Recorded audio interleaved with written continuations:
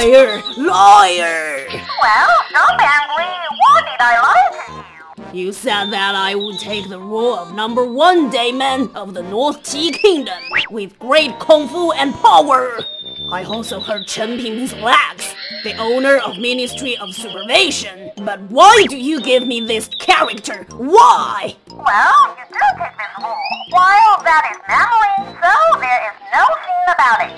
Your character is Besides, you will go back to the North Kingdom soon later, and you will be among the best returning to your country. No, you are still lying. Nowadays, I also can open VIP service in Video Player.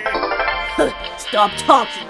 I can tolerate that you lie to me, but I cannot endure another thing. Well, what else?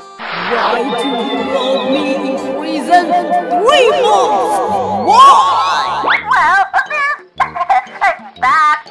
I.